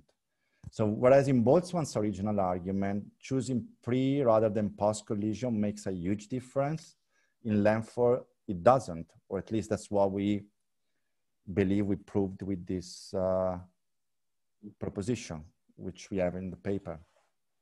Yeah, I mean, it's certainly very valuable to see exactly how um, how this comes out in in Lanford's theorem. In in my opinion, um, in in Boltzmann's argument, it's it's ultimately the same. The, the symmetry comes from the fact that you know independence is assumed at t equals zero, essentially. Yeah. So it always comes from distinguishing the special boundary condition, so to speak. Yeah. But, okay. Yeah. Okay. You sure. Sure. I understand. Even even Boltzmann's original heuristic argument really depended on uh, uh, special, very special initial conditions. That's true, and um, that's certainly correct. Yeah. No, but but thank you. We, that that doesn't seem to be that much of a disagreement. Yeah. Yeah. Sure. Yeah. Sure. Sure. No, but it's good to talk about that. I mean, these are mm. subtle and controversial matters, so it's always important to yeah to have. A, thank you. A discussion. Thank you. Uh, so the next ones uh, on the list are Aurélien, then Philippe, and then uh, Rob. So next is Aurélien. So I hope my okay. So yes, uh, thank you very much for this uh, very interesting talk.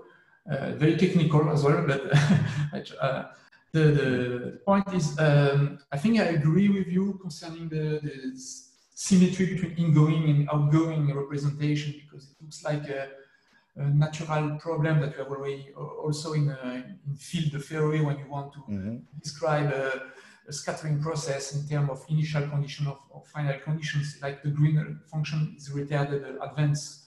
But um, the, the, the, the, point that I don't, uh, maybe I don't understand is you say that the factorization uh, condition, on hypothesis that you, you that, that is used in the, in the theorem is, is, uh, is symmetric, is time symmetrical? I didn't really understand that because it seems to be really introducing for me. Uh... Right, right. Okay. So remember, uh, okay, let me step back then. Um,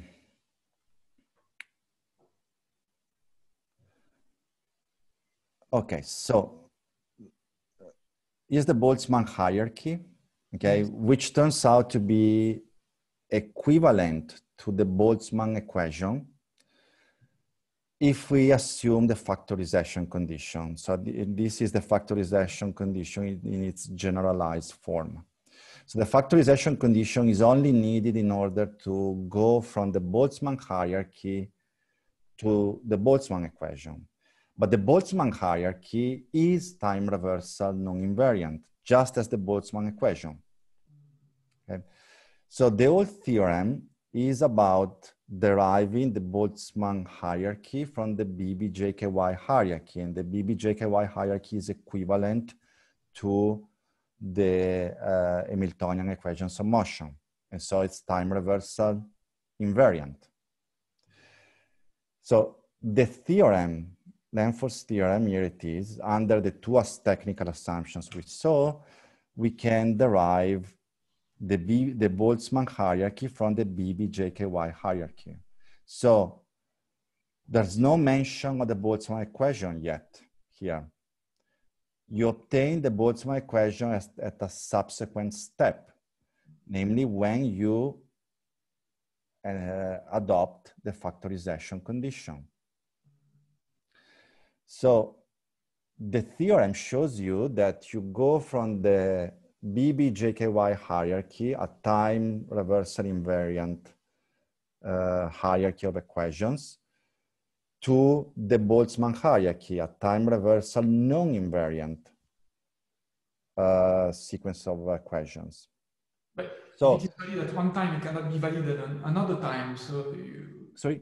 If, if this is valid at, uh, this, at, let's say, time t0, it cannot be true at, uh, at the subsequent time or the past time as well. So uh, no, the, at the subsequent time, at least uh, up to the positive time tau, yes, it is okay. true. I mean, that's the content of the theorem, and that's why even if tau is extremely small, mm-hmm. um, it's enough to show irreversibility. So that's the surprising fact. Mm-hmm. Uh, and but this reverse, this time reversal non-invariance is already uh, in the Boltzmann hierarchy. So when we move at the subsequent step by assuming factorization to the Boltzmann equation, we don't gain irreversibility. We already have it. Yes. Um, also, you see that, you know, uh, and then uh, we know also that this factorization condition holds at, if it holds at time zero, it holds continuously in time, which is, by the way, another difference with respect to Boltzmann's original argument. The and ansatz need to be assumed continuously, whereas here, and that's why it's called propagation of chaos, you assume it at the initial time and then it holds through time. Okay, that's a result of the kinetic theory of gases. But the only point that we were mm, trying to make is that factorization itself does not introduce irreversibility. Irreversibility comes already before. Some, somewhere in the passage from the BBGKY hierarchy to the Boltzmann hierarchy. And also it is I mean, this condition is manifestly time reversal uh, uh, invariant, you know, so uh, it has exactly the same form if we take minus t. Yeah, okay. But it's very but, special condition. Sorry? It's very special condition anyway. Yeah, yeah, yeah, yeah. Also that. This is times, okay, this, this is a, uh, yeah. okay. Okay. Sure. Thanks for the question. I mean, it's, Okay, Philippe wrote a question uh, in the chat. I don't know, Philippe, if you want to elaborate or ask. Uh, well, a little bit. Uh, well, the question was, uh, so you have a t equals zero. It's maybe related to the next question by Rob. Uh, cannot you show that uh, your calculation is only valid for positive t's and that it's meaningless for negative t's? So then you would be sort of happy. Uh, I, am thinking to something else, which is, for instance, a quantum regression theorem in quantum optics. You, you have a time ordering, which, uh, but it's quantum, obviously, uh, whereas your, your calculation seems classical. Classic, it's completely classical. The, the, this theorem and all the results we obtain uh, are classical, yes. In the quantum regression theorem, where you, that you use to calculate correlation function in quantum optics, uh, there is a time ordering. That is, you you have to you get the result for positive time, then you can get for negative time. But actually, it's a different calculation. Uh, okay. So, so, I was wondering whether you would have something like that. That is, you you have sort of a hidden or maybe sort of an uh, my, you mean which makes it valid only for positive time uh, well uh, um, actually, I think, you know, um, uh, I have to think more about the possible analogy, this analogy with the quantum case. That's, I think, a, an, an, interesting question. Um, certainly, what makes, let's see, uh, what makes the, um, you see, uh, Lanford and Lebowitz proved a version of Lanford's theorem also for the past. Uh, now, all they did was to change the domain of convergence. Uh, and so perhaps that's what um, makes the trajectory of the um, no, that that's what probably what made them uh, able to derive the anti-Boltzmann equation, and so the trajectory, the plot of the minus h function as this. Um, yeah, if you change the hypothesis from positive to negative time, uh, well, it's not the same calculation. Then uh, you have just have to remove the negative time because it, mm -hmm. less within the hypothesis, which allows you to calculate the positive time. In, in the quantum, for the quantum regression theorem, it's related to preservation of commutation relation, etc. But uh, you have to choose. You, you cannot get both at the same time. You can you can get any of them, but not both at the same time. I see. I see.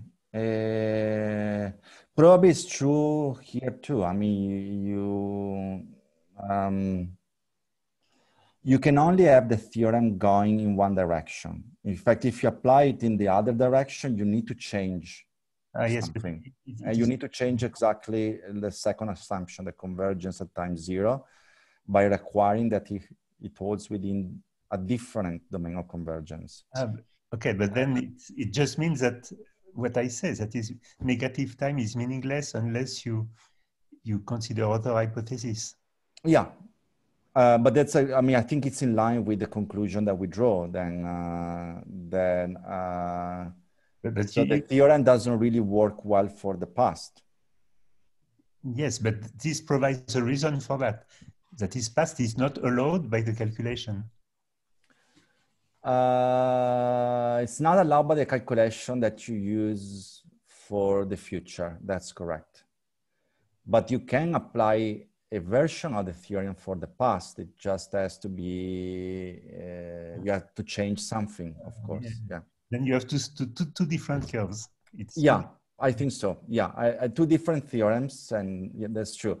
And the, and the, and that's true for every point, uh, for every instant of time that you choose as the origin. That's mm. also the weird part about Lanford.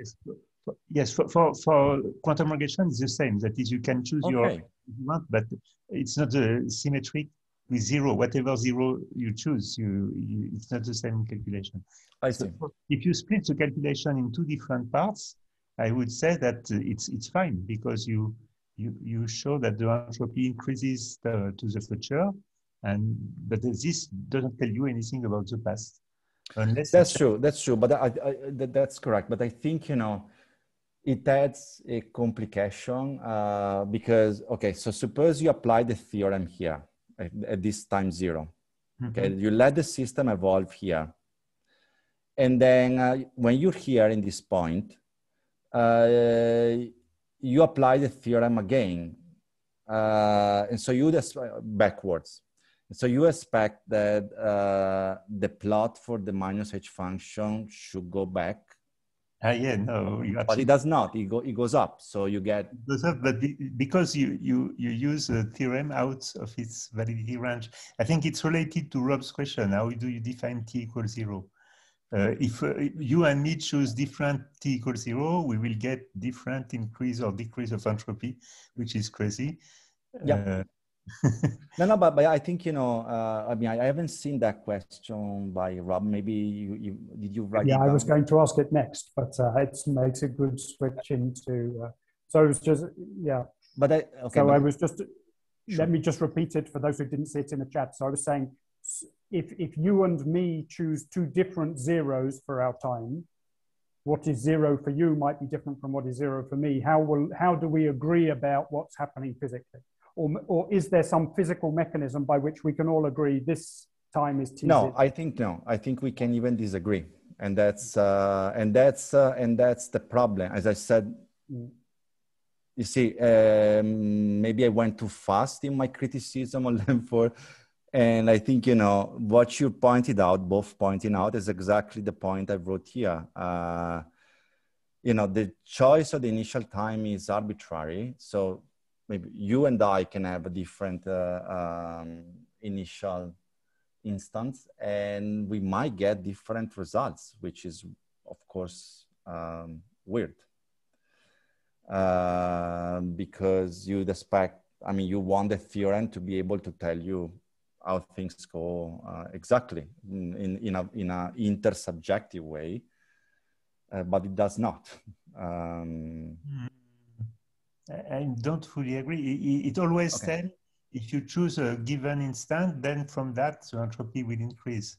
And then this is a generic conclusion. Yeah, yeah, yeah. It will increase, uh, but I thought, but it might increase in diff. I mean, we might have different uh, arguments of the minus h function, so different uh, ft.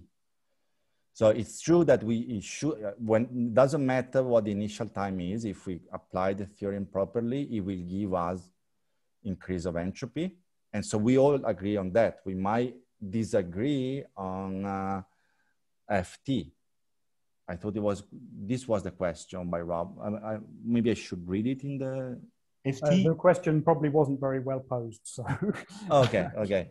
no, no, but uh, so we will. Uh, okay, I think we will agree that the entropy increases in the future.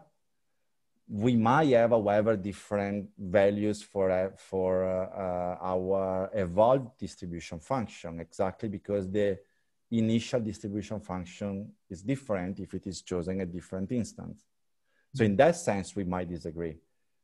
But as a qualitative behavior of entropy, uh, I think we should agree uh, if we look at the future. Yes, and for instance, if my time is uh, after your time, I'm not allowed to conclude that uh, between your time and my time, the entropy was going the wrong way because yeah. it's a wrong application of the theorem. Yeah, yeah. See, unless we apply the theorem backwards, of course, and then uh, you will think that the system is coming from a state of higher entropy if you if you're a later time, and I will think the opposite. And so, but so in other words, the, the contradiction could be if we sit in different points of uh, mm -hmm. time. Yes, but if you add the condition that it's only valid for positive time, then we are fine. Yeah, yeah. Then, then yes. Yeah, then we agree that it will uh, the entropy will increase. Yes. Is that?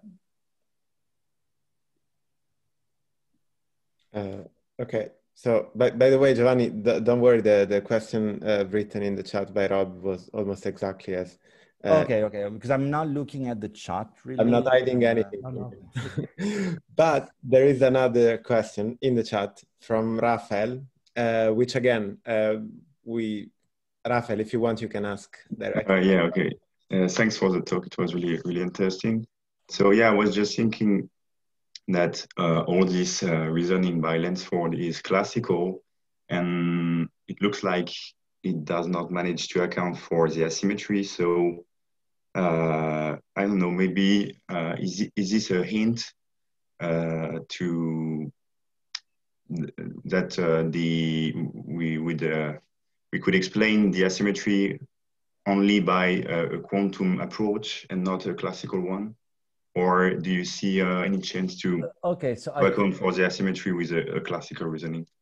Yeah, I, I think, you know, um, so my instinct is always to go for the deeper theorem, the, the deeper theory. So I would expect um, quantum stuff to be more fundamental and so to give us a proper answer. And of course, I'm pleased to see that, uh, you know, even if we have something like the CPT theorem in quantum field theory, then uh, um, there seem to be phenomena that uh, even at the microscopic level that display a time symmetry, as we know. Um, uh, but there is also independently of what is exactly the level uh, uh, at, of the physical level from which we need to seek the explanation for what's going on at the microscopic level there still remain a question, even if we stick to the classical level, how do we make our descriptions compatible? Because, um, you know, we observe irreversibility at the macroscopic level, uh, and we can, you know, uh, still uh, like a gas expanding, and we can still look at the gas as being composed by classical molecules. And so it must be possible even at that level to recover what's going on at the microscopic level, even if it isn't the most fundamental level, even if the quantum level is more fundamental. We still can think of, the, uh, of a gas as being composed by classical elements. And so it's a question interested interesting in its own to uh, you know how do we um, establish the compatibility between you know uh, thermodynamics and classical statistical mechanics? Um, but the fact that one of the most powerful theorems that we have for the description of uh, um, the behavior of a gas, namely Lanford's theorem, at the classical level doesn't give us the correct answer could be a sign that we need to go, you know, far deeper. So maybe the quantum, uh, an analysis of what's going on at the quantum level will be uh, more. Francisca isn't, doesn't, doesn't agree.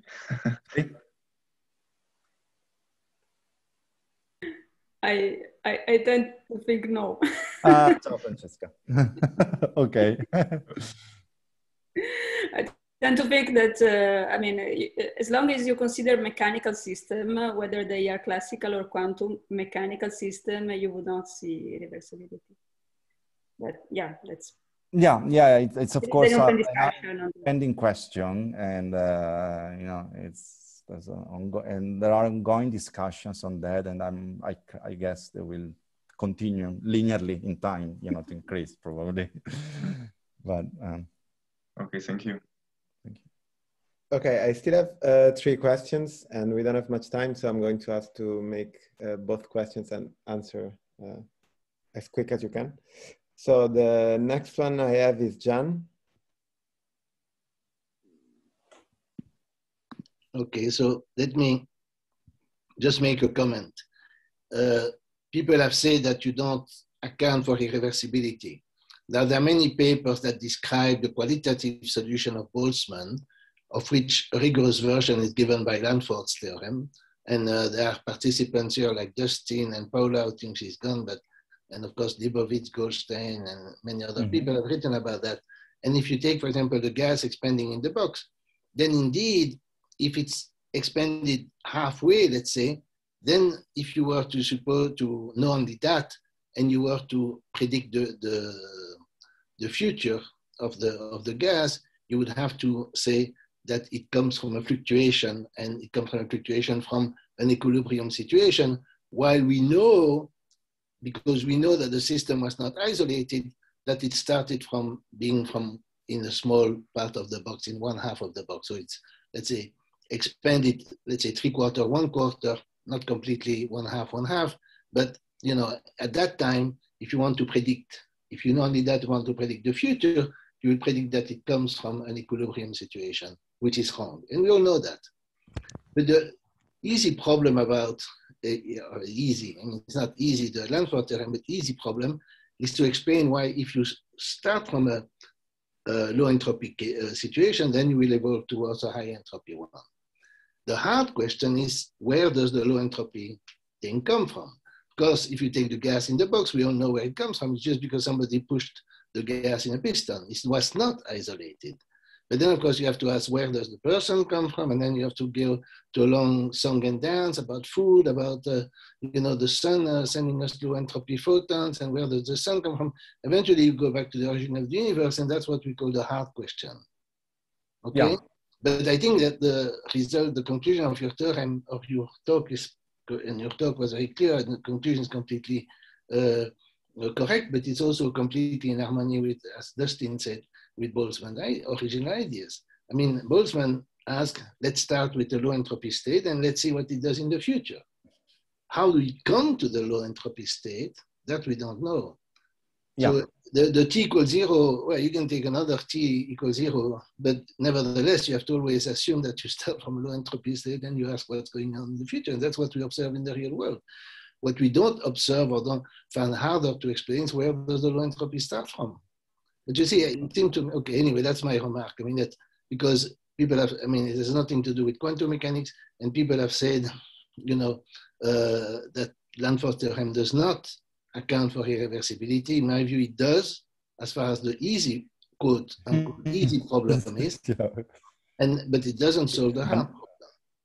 It doesn't solve that problem. That's that, that's correct. That's all. But that's all. But otherwise, it does solve the easy problem. It's not so easy. But if you take take for example, simpler model, like, uh, uh, you know, the, the Kac ring model. There, everything is clear, everything can be proven, everything. It's artificial, but other than that, it has all the properties and you have a Boltzmann equation, you can derive Boltzmann equation, you can see exactly what's going on and how it's probabilistic, etc., etc., and you reverse the velocities, then you're going to go back to the initial state. but you have to make an assumption, a probabilistic assumption that works in the vast majority of cases. Mm-hmm. If an, given you know some ordered situation where all the balls are white and they become more or less mixed, black and white, but you you have to make an assumption on the distribution of the obstacles or the crosses, and if you make that assumption, of course, if you reverse the velocities, then that assumption is no longer true. Okay, that's that's all. Yeah, yeah, no, I, I, I agree with you. I mean, and of course, even uh, it's of course very hard to justify and explain why the universe should be in a lower state, and it's even hard to say what is the state. How do we define the state of the universe, and how we define its uh, its entropy? Um, and so it's certainly a very hard question that too. I mean, I didn't. Uh, no. I did. I didn't mean any. I think I didn't say in any part of the talk that the uh, beside Lanford and its small domain of application of what we have done in the paper, uh, it's all easy. Quite the opposite. But I think, uh, um, yeah, it's a it's a uh, what what what you're mentioning uh, now and what you're stressing is, I think, in harmony with uh, with the point that Jos and I made in the paper, uh, and in this, but we, you know, um, uh, we were interested in understanding where exactly in irreversibility come from in Lanford's theorem, yeah. and all our analysis, which was conceptual and mathematical for the most, showed that there is no uh, time asymmetric ingredient. I mean, we never try to explain to answer Except, the big question. Well, we were focusing on uh, the irreversibility is that you make assumption on initial condition. That's all. Uh, not really, uh, because the initial. Because if you take if you take the picture which is there on the screen, at time zero, you make something, there's something special.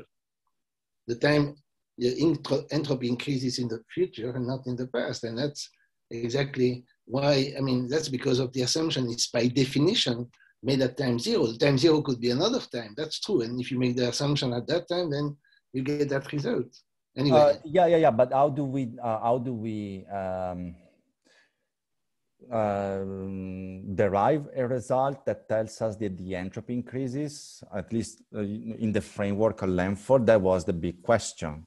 Uh, and uh, um, um, I think quite differently from what happened in Boltzmann, and we know that in that case, the source of irreversibility comes from the pre-collision component of the Stosszahlansatz Here in Lanford, uh, we don't have that uh, an, um, you know, analog, uh, analog result. Quite the opposite, because as we prove, uh, factorization conditions in itself is not time reversal invariant. And then assuming the incoming representation is exactly equivalent to uh, assuming the uh, outgoing representation. So there's a major difference with respect to Boltzmann. As I said, in, in, in, in we, so in this paper, uh, we were interested in trying to understand uh, Lanford's theorem and uh, um, its status with respect to reversibility. And uh, as we sat and, and, you know, work on the theorem and, you know, a lot of uh, sub mathematical subtleties need to be solved uh, that led us to different conclusions from from other authors. And um, that, that, that was our project here, nothing bigger than that, I should say. Okay, okay. Uh, okay, so um, again, we, we have just two, I hope, small uh, remark uh, from previous questions. So if you don't mind, Giovanni, staying just a couple of minutes more. Sure, sure. Okay, thank you for that. So Rob and Aurélien, uh, Rob, you're first. And again, uh, please try and be as quick as okay, possible. Okay, mine will be super quick because it was basically the same as the previous question. Uh, it was basically uh, just asking about how you think about a. I think I think a lot of our intuition uh, about entropy changes is for open systems, And when you start applying it, to your intuition to closed systems, it's easy to make a mistake. And I think somehow what you're saying is, is you know, when there's a closed system that makes a, that you leave for a million years, uh, so it shouldn't be mm-hmm. infinite, but it should be reasonably large. You live for a million years, even though it's an equilibrium, there will be fluctuations. And after a million years, there might be a really big fluctuation just by randomness. Um, if you then film that fluctuation and what happens before and afterwards and watch that film, we believe that if you watch that film backwards, it will look exactly the same as if you watch that film forwards. So for that fluctuation, uh, as you go away from the fluctuation, the entropy will increase in both directions. Okay, yeah. Um, and the thing is that we're always skewed by our intuition that comes from open systems where if there's if all the particles are in one corner of the box, it's because someone put them there, mm-hmm, which mm-hmm. involves there was work that was done, which involves entropy increasing somewhere else in the universe and all this stuff. And so somehow I think it's probably some of the issues related here are also issues related to our our intuition being misled by being confused between open and closed systems. But I think Jean maybe said that better than I did, so I'll stop there. okay, okay. Well, thanks, thanks for the, for the remark, and I think you know um, that, that, that certainly, um, you know, um, it is true that part of our uh, way of interpreting what happens in uh, uh, closed systems is uh, um, uh, affected by what you know we know about open systems so the way in which we treat open systems and there's a risk of making confusion between the treatment of the two and uh, transporting consideration from one to the other and that can be uh, certainly a source of confusion, further confusion. Yeah. Uh, Aurélien? Oh, sorry. Yeah. Uh, I was thinking it was. so the um, uh, my, my question is simply a continuity continuity of the of the same topic because uh, uh, all the all these questions are, con are connected to the to the same uh, same issue somehow. The, my my remark was. Um, what about the, the, the, collision process itself? Um, the collision process itself is very much uh, idealization in your, in your model because you, you use the hard-sphere uh, collision. Mm -hmm. And, um, uh, but in, in reality, it's more like a scattering process where you have infinite time between. Uh, normally, when you're doing that in, in quantum mechanics, we're imagining quantum wave, wave packet going from the infinite past, and uh, after and then after you have separated pack, wave packet after another uh, infinite past as well, infinite future as well. So this is looking like a idealization when you can uh, describe scattering process. And uh, you, you consider that at a given time you can identify uh, two representation and, and, if it is not the case, then the factorization hypothesis seems to be uh, a problem because you you break somehow the, the time symmetry uh, by doing uh, yeah i think you know hypothesis I, I, agree. I think you know and one of the yeah, we are okay one of the um, our criticisms to Lanford's original uh, work or discussion of his work was exactly the identification between the pre-collision configuration, the post-collision configurations.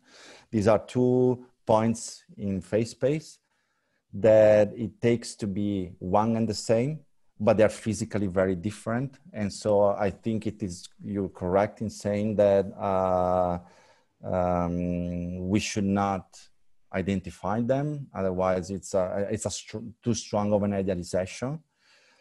Luckily, and here uh, we, um, you know, we need to thank Spohn really, uh, in order to guarantee continuity of the dynamics, so that there isn't a jump in the trajectory in phase space, it's enough to uh, appeal to a weaker condition, which is the continuity of collision. So rather than identifying the pre-collision and the post-collision point, we can simply demand, we, we simply demand that uh, the distribution function takes on the same value at the two points. But this is not to say that the two points ought to be identified at all. In fact, they, they are different mathematically and physically. Uh, and so I think in this way, um, we can avoid introducing a very strong idealization, which is physically misleading, like the one that uh, Lanford originally suggested, namely, you know, the identification between pre-collision and post-collision con configurations. Uh, I don't know if this goes along the line. Yeah, the model is very so much idealized that at the end uh, it breaks and the, the intuition uh, of Boltzmann uh, that you you start with the molecular chaos hypothesis where you have a not correlated system and at the end you have correlated systems. This is so somewhere is hidden this hypothesis in the axiomatic here. And, uh, uh, the, all the details I cannot say, but it's Right, right. Something is, uh, is breaking the definitely the time symmetry. Otherwise, you could not you, you could apply iteratively uh, the, the reasoning. But mm. you, in your figure that you show where this uh, entropy uh, yeah, yeah. in one point uh, with a slope which is positive and one is negative, it really shows that uh, it's valid only at one given time. It cannot be applied iteratively. And, no, no, no, no, it should not. Yeah. Um, so it's certainly connected to the idealization of the, the description of the collision because. Uh, yeah. And I mean, I should say there is even a stronger idealization if you want. I mean, we're working with the Grad-Boltzmann limit. So, and, uh, and as I mentioned in one of the slides about the limitations of Lanford theorem, that means that uh, at best the theorem can is applicable to the case of very diluted gases mm-hmm. um, because the density of the gas goes to zero. Uh, but then also the particle's diameter goes to zero. And so what does it mean for two points to collide, you know, two point particle to collide? And so it's even, it's even, you know, there, there is even this, there, there is this extra uh, uh, complication conceptually. Um, um, I mean, if you look at the pre-collision point here as the post-collision point as they've written here, uh, then if A, the diameter of the particles is zero, then the two particles sits, the center of the two particles sit in the same point. And so, you know, um, what does it mean that the, these two point particle uh, interact by collisions in that case? So so maybe uh, the model is simply too, too much, uh, isn't too, too, mathematic, too mathematical and not uh, physical enough. Yeah, that's the price. That's the price to pay. I mean, if you want to make Boltzmann's derivation derivation precise and exact, as Lanford did, then you need to introduce a lot of assumptions that are uh, that brings you far from the physics. I think you know, and I mean, one of the you know that the, our objectives in this paper was to analyze uh, those idealizations as, as well. You know. Thank you. Clarify a bit. Thank you. So let's thank again Giovanni for the. No, thank you all for the interesting questions and. I still have to uh, with a real ends, even though it doesn't arrive. So thank you, Giovanni. Thank you, everyone. Uh, I'm gonna uh, stop the record.